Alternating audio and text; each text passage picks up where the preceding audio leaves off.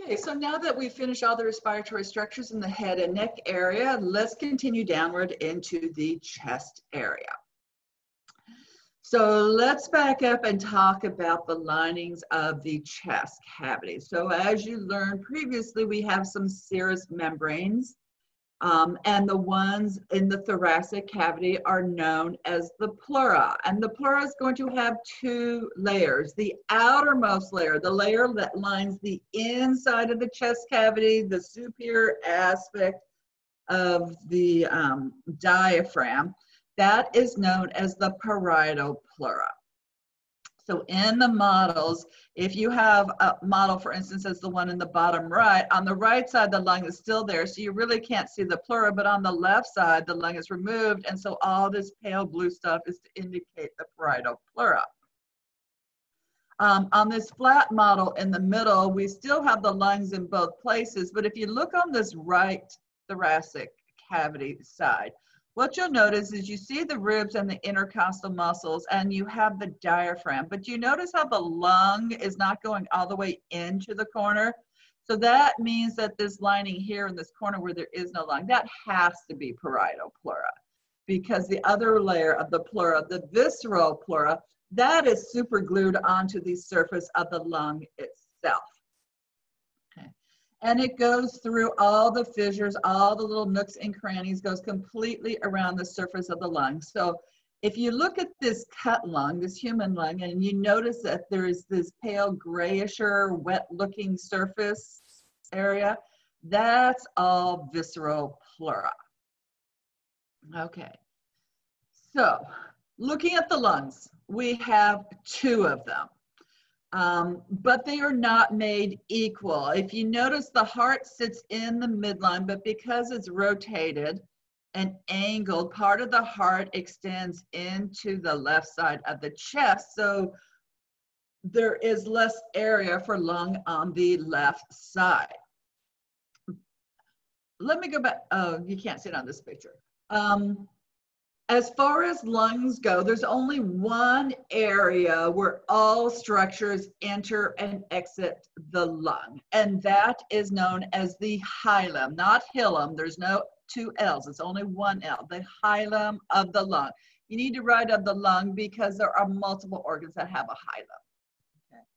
So if we look at the picture on the left, what you can clearly see is this is where the airways are entering the lung, the area surrounded by the yellow circle, but there's also blood vessels. So if you look at the picture on the right, it's not only showing airways entering, it's showing both arteries and veins exiting and entering the lung.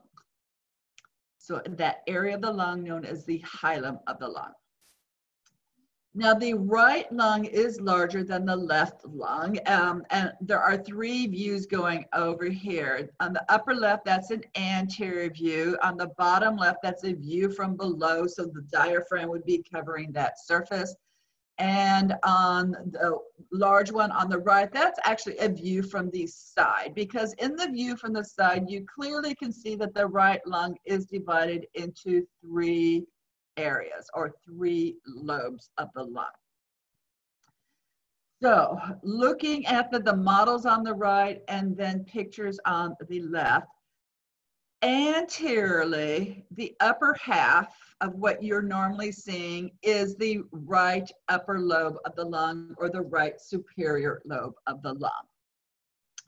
And then most of what you normally see is going to be the right middle lobe anteriorly. And then way down in the corner anteriorly all you see is a tiny little bit of this quite large inferior lobe or the right lower lobe of the lung. So even though it's quite large from an anterior view on the models, you're only seeing a little bit of this. All right, so right lung, three lobes. In contrast, left lung, two lobes. And anteriorly, once again, what you are mostly going to be viewing is just the left upper lobe, the more superior lobe.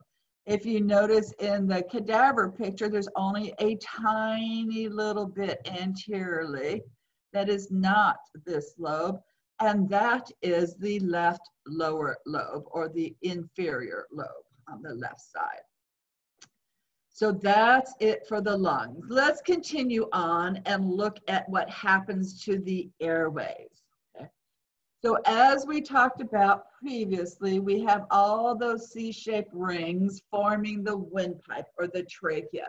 And that continues down to the level of your suprasternal or jugular notch on your manubrium. So if you put your finger there, that's exactly where the trachea is going to bifurcate or split into two airways, one going to each lung.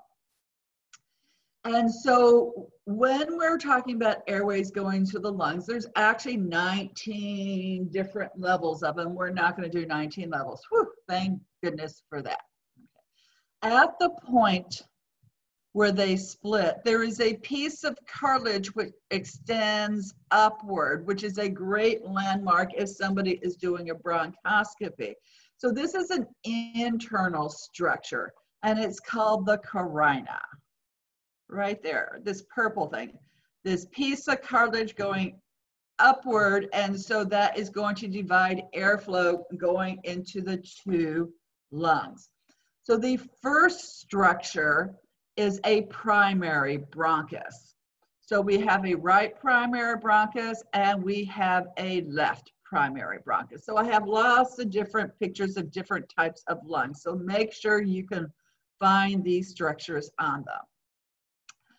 As soon as the primary bronchus is going to split, it's now going to become a secondary bronchus. Okay. So where the yellow arrows are, I want you to looking at the the one on the far right, that's a secondary bronchus. And even though this looks like a continuation of the primary bronchus, this is considered a secondary bronchus because the primary bronchus has already split. And you can see that same phenomenon happening here, primary bronchus, and then both of these would be secondary bronchi. Now, as soon as a secondary bronchus splits, it's going to become a tertiary bronchus. So we only have three layers that we use the word bronchus for. A primary bronchus is the first one, followed by a secondary bronchus, followed by a tertiary bronchus. After that, we are going to continue to divide 15 more times, only we're going to be using the word bronchioles. And there were names for all of these, and we're not going to learn the names until we get to the final two bronchioles. So essentially everything after this that you see on a lung model looking like this, where you see the entire lung, once you're past counting primary, secondary, tertiary, any of these other things that you're counting, just write the word bronchiole, bronchiole, bronchiole, doesn't matter how big or small it is until you look at the model, which is showing the end of the airflow with these little grape-like structures. Okay, so each of these little grape-like structures, these little sacs, this is where the gas exchange happens, and each one of these is called an alveolus. So yes, there's a model which shows the alveoli. It's in color for, I just have black and white pictures. However, in the normal lung, if you look at it closely, because I don't know if you notice, this is the same. This is this model right here in the left lower quadrant. If you look at it up close, it looks like this, and you see all these tiny little holes. So each one of these tiny little pink holes is an alveolus. All right. So Hope you enjoyed that part and we will continue shortly. Thank you for continuing to work hard in this class.